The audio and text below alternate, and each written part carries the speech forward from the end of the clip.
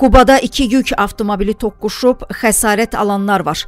Reportun Şimal bürosunun verdiyi məlumata görə hadisə Quba Xaçmaz yolunun Alekseyevka kəndi ərazisində baş verib. Şahidlərin bildirdiyinə görə hadisəyə Azərişıq Səhmdar Cəmiyyətinə məxsus xidməti avtomobilin qarşısına qoyunların çıxması səbəb olub. Nəticədə arxadan gələn KAMAZ sürəti tənzimləyə bilmədiyindən qaz 53-ə çırpılaraq yoldan çıxıb. Sürücülər xəsarət alıb, faktla bağlı araşdırma aparılır.